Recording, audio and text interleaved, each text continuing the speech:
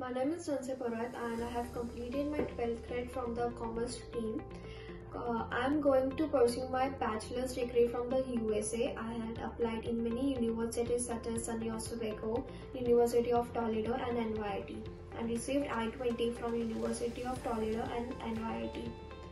Uh, I got my visa uh, as I applied in Dropbox. Uh, Dropbox uh, going to pursue BBA from USA in, uh, in Jan intake. I'm very much thankful to the Kanan International as they helped me the most in the visa process, especially Utsav sir and Deep sir. They have a very kind and helpful gesture which helps students to uh, don't get panicked in their process and uh, to stay calm and relaxed.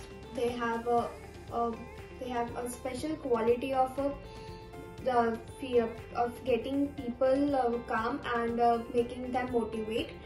Thank you, Kanan International.